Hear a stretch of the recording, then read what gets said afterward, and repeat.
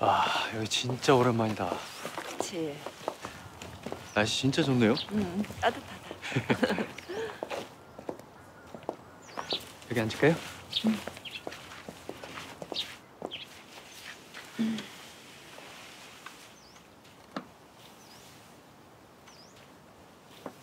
향 괜찮죠? 음, 밖에서 맡으니까 더 좋다. 맛있어.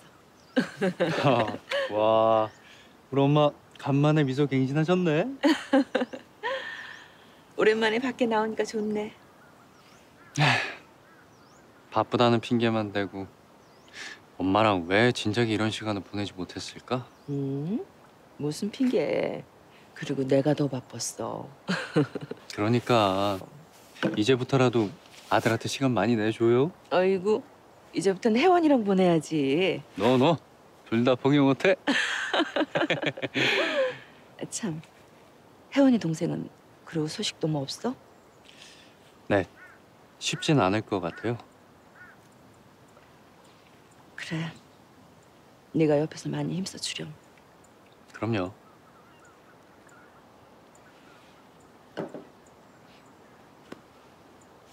엄마,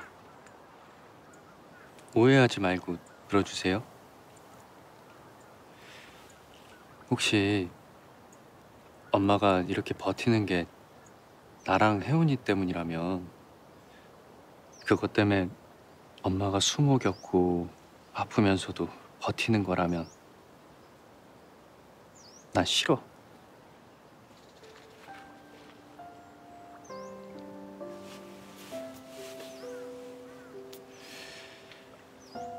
엄마가 자유로울 수 있다면, 아프지 않을 수 있다면, 나한텐 그게 최고고 최선이에요. 그러니까 제발 엄마만 생각해요. 네? 우리 아들 다 컸네.